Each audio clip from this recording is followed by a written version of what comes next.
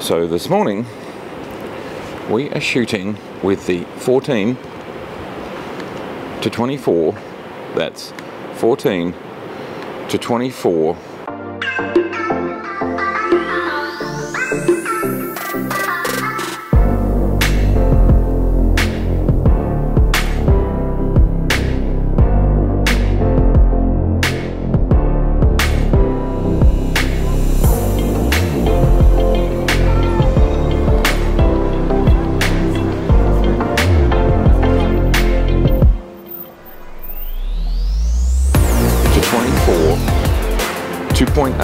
2.8 f mount lens with the f to z adapter shooting on the z7 and there's a couple of things that uh, i wanted to talk about. There's a rumored roadmap of nikon's lenses out till 2021 so that's uh, obviously we've pretty much finished 2019 we've got 2020 and 2021 now, I think I counted that there are 22 lenses. There will be 22 lenses by the time that's finished. That's very exciting. But there's something else that I've noticed, which is why I think the Z mount is so awesome. And I've been saying this for a long time, and you can see it in this film up here.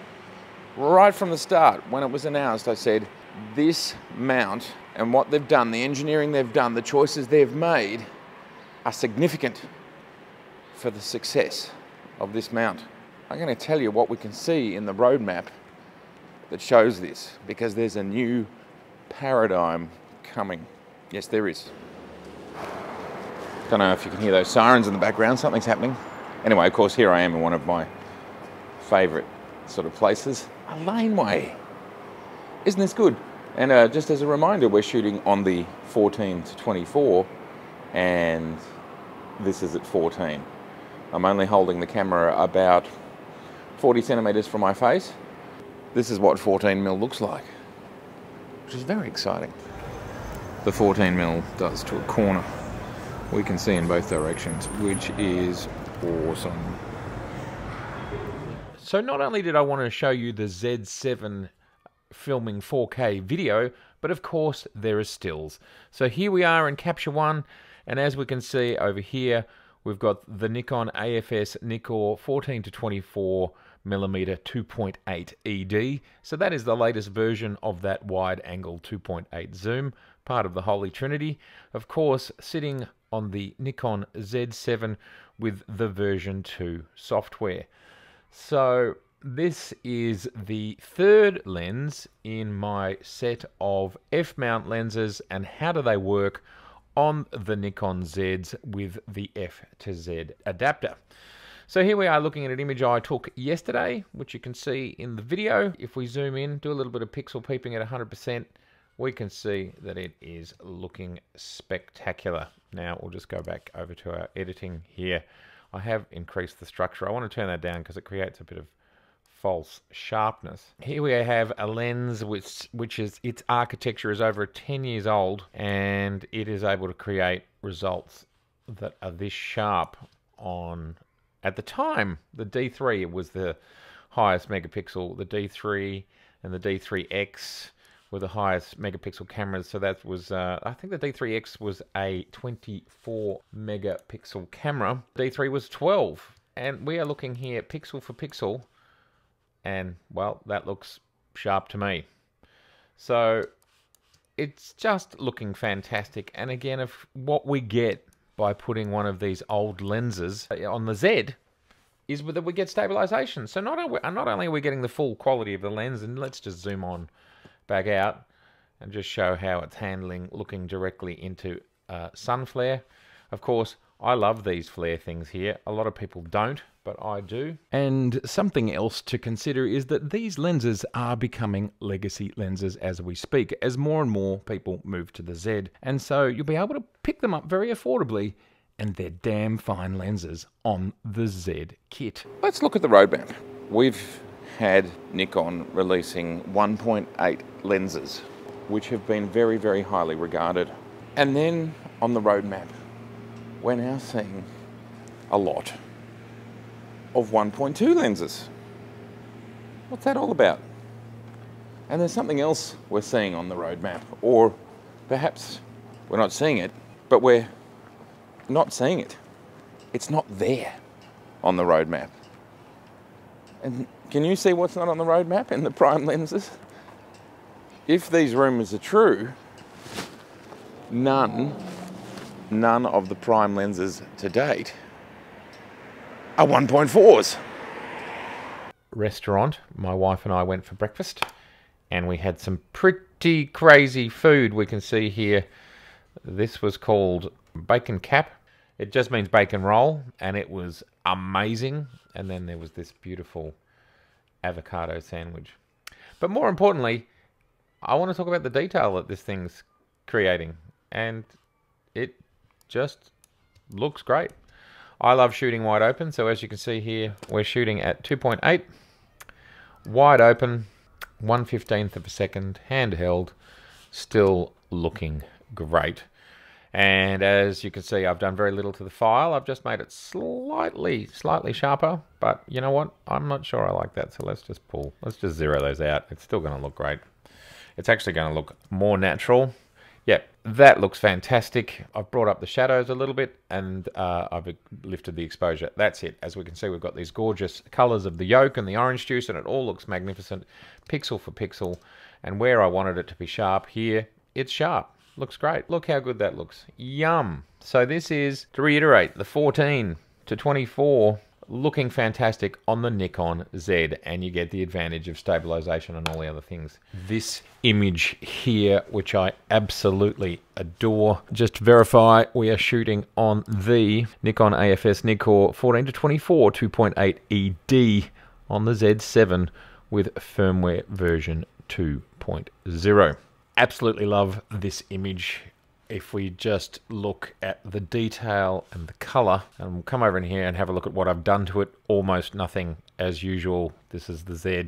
This is exposing correctly. This is framing correctly. It's not cropped. We can see I've just lifted the exposure a little bit and lifted the shadows.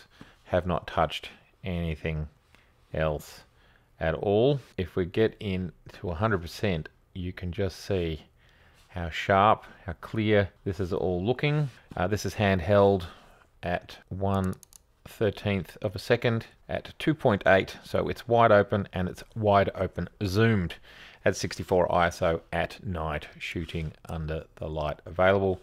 We can even see edge sharpness here 100% it's looking fabulous. And this is as I said before a lens that was engineered and released over 10 years ago.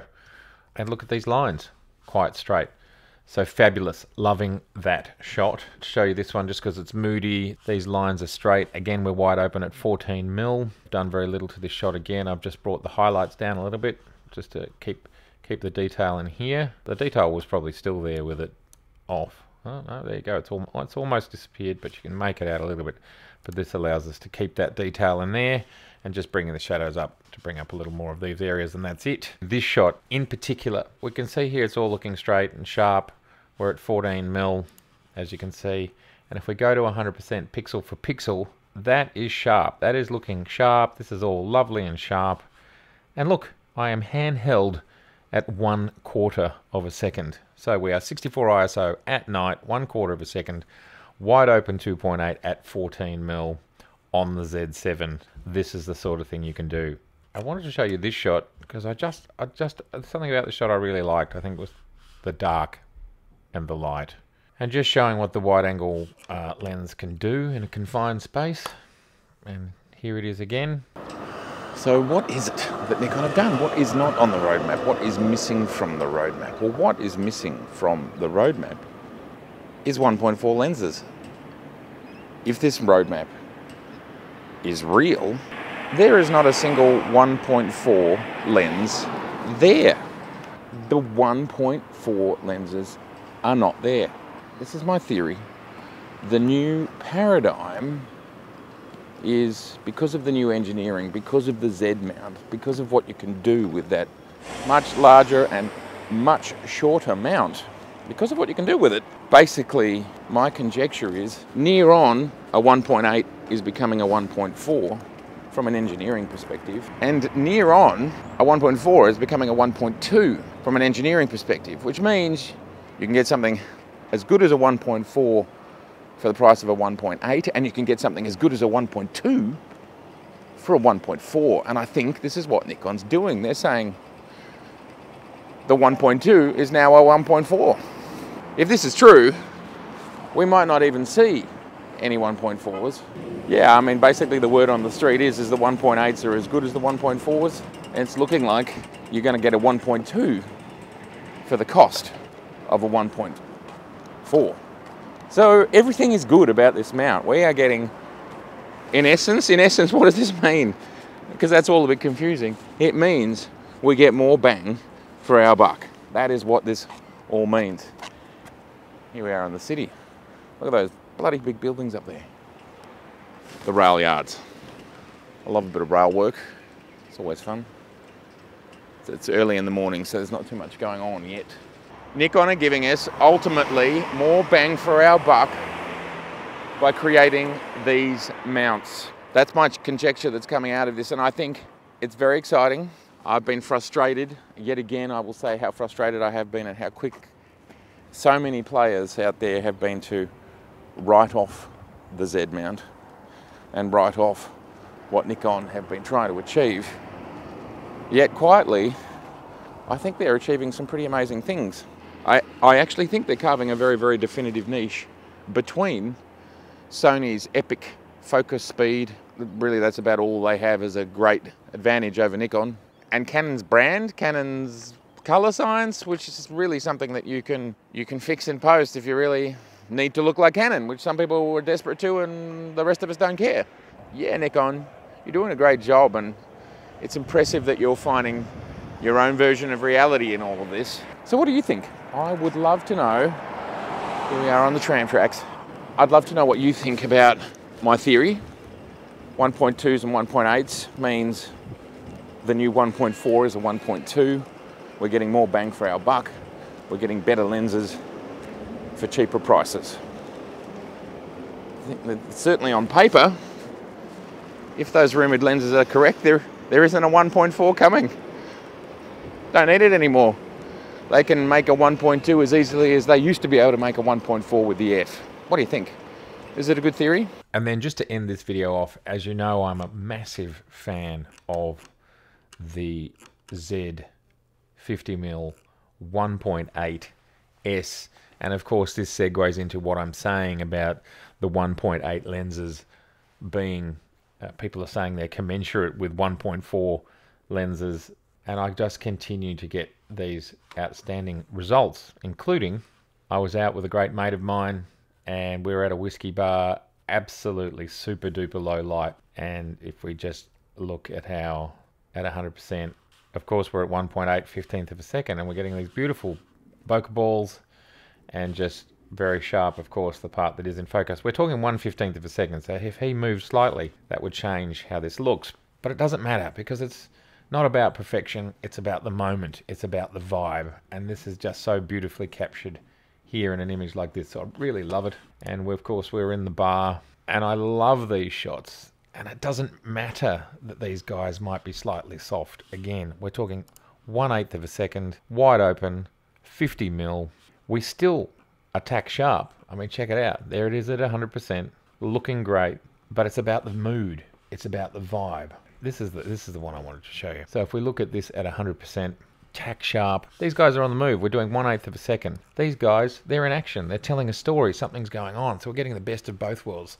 We've got something sharp and we've got real life happening and we're able to capture in these super low light situations. Now, potentially, this image could perhaps be a bit darker just to create a bit more mood. But this is the thing with this camera, you can you can choose where you want it to be. It can be light or it can be a bit darker, maybe somewhere in there. Please tell me in the comments below. I'd love to know what you think. Do you prefer the darker one or the lighter one? But this lens, this 1.8 lens, this affordable, very light lens, I'm finding to be absolutely spectacular. Based on getting this lens and using it, it really did help round out my theory around Nikon's 1.8 line basically becoming their 1.4 line. And their 1.4 line is now becoming their 1.2 line. And this lens is certainly speaking to that. And I can't wait to get my hands on the 85mm. I'll just show you a couple more because it just continues to blow my mind. The the sharpness and that is all I've done. Look at all this beautiful color. You don't need anything else. Outrageous, outrageous. And I love images like this not just because I love these sort of places, but it's because this texture allows you to see how sharp the lens is. Now we're rendering, we're rendering, we're rendering, we're still rendering, and we've arrived. And look, look at all this detail. Ridiculous. it's just, it just blows my mind. Rendering. This this is the edges ridiculous. This is at 1 13th of a second.